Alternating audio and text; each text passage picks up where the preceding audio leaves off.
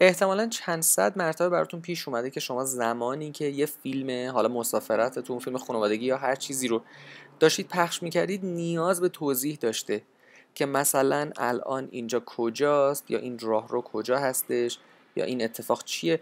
این توضیحات رو شما می‌تونید به تصویر اضافه بکنید. به طور مثال من اینجا الان یه نما دارم این وسط.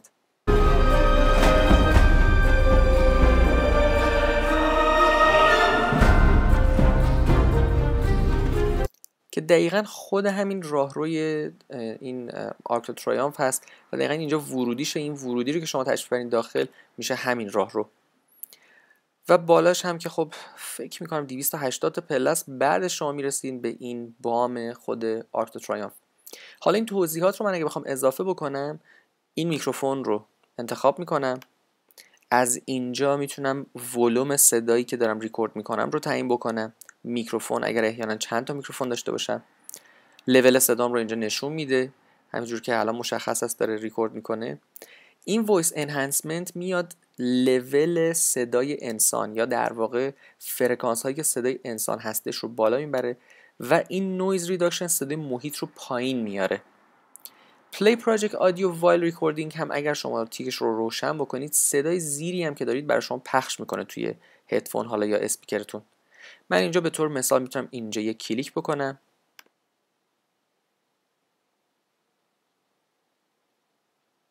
و ببخشید روی clip هم باید کلیک بکنم.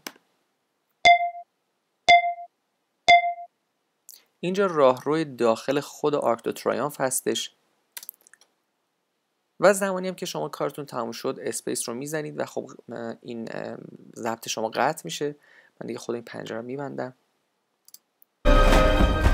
اینجا راهروی داخل خود Arc de Triomphe هستش. و انقدرم هوشمندی که زمانی که شما یه صدا ریکورد می‌کنید صدای زیری که دارید رو پایین میاره.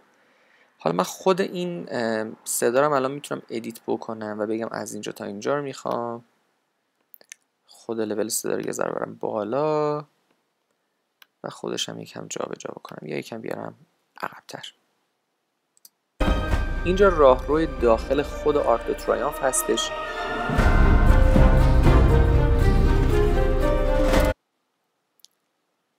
و ایشون هم یه آدمی که داشت سوء استفاده می‌کرد از این حالت من از این من راست شوخه اینجا تا کمر آویزون شده بودم از این راه رو و از این میله ها برای اینکه این عکس رو بتونم این فیلم رو بتونم بگیرم.